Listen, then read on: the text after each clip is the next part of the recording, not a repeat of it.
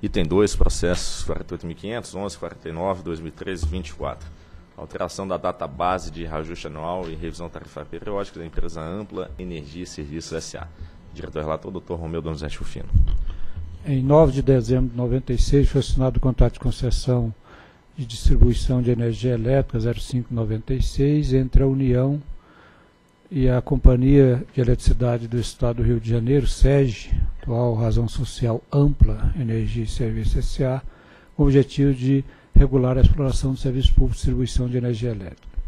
Por meio de carta recebida na ANEL em 14 de fevereiro de 2013, a concessionária solicitou postergação da data contratual de reajustes e revisões tarifárias da Ampla do dia 15 de março, que é o atual aniversário das tarifas, para o dia 30 de junho. Mediante nota técnica de 22 de fevereiro de 2013, da SRE, recomendou submeter a proposta apresentada pela Ampla em audiência pública para discussão com os agentes e a sociedade da eventual alteração de sua data contratual, conforme solicitado. É o relatório. Procuradoria.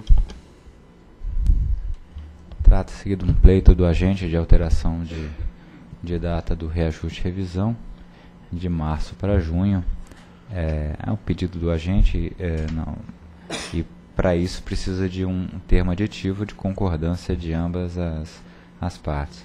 No entanto, como a matéria que envolve o interesse dos, dos consumidores, há necessidade de que seja avaliado se essa mudança não vai trazer algum tipo de prejuízo. Por essa razão, a matéria deve passar por audiência pública por força do artigo 4 parágrafo 3 da Lei 9427. Então, de acordo com o que dispõe tanto a Lei 9427 como a 8987, cumpre a ANEL gerir os contratos de concessão de permissão de serviço público de energia elétrica e homologar reajustes e revisões tarifárias. Na linha já definida pela diretoria ANEL, no exercício de tais atribuições e a fim de analisar pedido de alteração da data base, reajuste e revisões tarifárias, tais como a veiculada pela Ampla, deve determinar a abertura de audiência pública, porquanto o acolhimento do pedido implica afetação de direitos da concessionária e de seus consumidores finais. A audiência pública proposta consistirá de disponibilização de análise, da análise preliminar da SRE, bem como da argumentação da concessionária requerente, conforme abaixo transcrito. Então, aí se resume o que a concessionária alegou no seu pedido de alteração da data.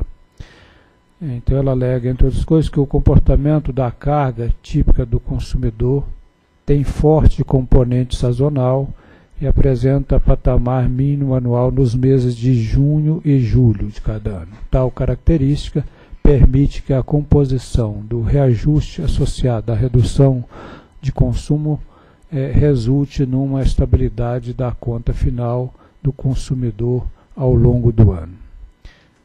Permitiria também, com essa alteração, a implementação de mecanismos que mitiguem o reajuste tarifário, tais como a redução da tarifa de uso da rede de distribuição, paga pela Ampla Light, realização de leilão de energia, do, de energia o A-0, implantação mecanismo de sinalização de custo de energia de curto prazo e de ferimento da despesa com encargos setoriais e outros. Isso então é o que alega a AMPA. E por último, alega a AMPA que ainda proporcionaria melhor conhecimento do período hidrológico ao final do período úmido e, consequentemente, uma melhor estimativa do PLD. Nesse ponto, a SRE ponderou que o pleito envolve pontos positivos e negativos em assuntos que envolvem o histórico do mercado da ampla é, estabilidade na conta final do consumidor, crescimento do mercado, faturamento e diferentes intervalos entre os leitor, as leituras mensais, estrutura tarifária, CVA, efeito de cálculo da taxa de remuneração regulatória e taxa média de depreciação, entre outros. Isso verifica na revisão. Dessa forma, diante dos fatos apresentados, conclui-se que a eventual alteração da data base da ampla de 15 de março para 30 de junho apresenta diversos pontos que merecem ser discutidos junto aos interessados na matéria, pois se trata de alteração de direitos da concessionária, como também de seus consumidores. Dessa forma, recomenda-se a abertura de audiência pública na modalidade de intercâmbio documental, de modo a obter subsídios à proposta apresentada pela distribuidora.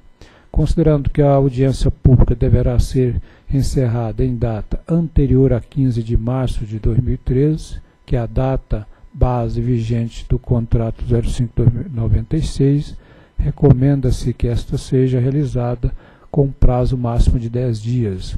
Do contrário, não seria possível a apresentação do pleito, a apreciação do, do pleito, o que justifica a excepcionalidade do período da audiência pública menor que 30 dias, que é o usual no nosso regulamento. Com base então no exposto no que consta no processo, voto por determinar a abertura de audiência pública, exclusivamente por meio de intercâmbio documental, no período compreendido entre 27 de fevereiro e 8 de março de 2013, a fim de colher, colher subsídios e a proposta de alteração de 15 de março para 30 de junho da data base de reajuste tarifário anual e de revisão tarifária periódica da AMPLA com a disponibilização do pedido da concessionária e da nota técnica da SRE que analisou o assunto. É o voto.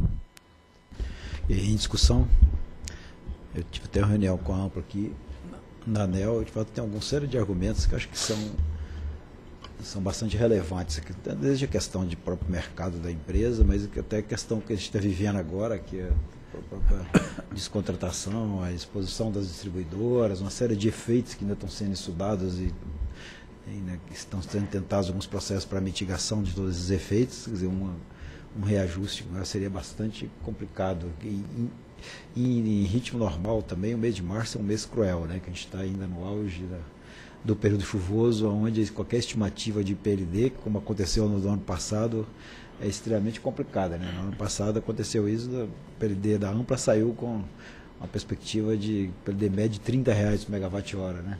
Só que parou de chover exatamente no mês de fevereiro, já ficou continuar a chuva e tivemos esse resultado que a gente teve aí. Isso acaba afetando muito os reajustes futuros da empresa. Então, acho que é bastante relevante a solicitação. Sim. Ok, votação?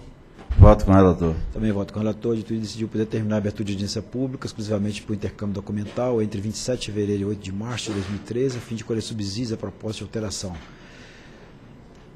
de 15 de março para 30 de junho da data base de reajuste tarifário anual e revisão tarifária periódica da Ampla Energia e Serviços, com a disponibilização do pedido da concessionária e da nota técnica 53-2013 CRE ANEL de 22 de fevereiro de 2013.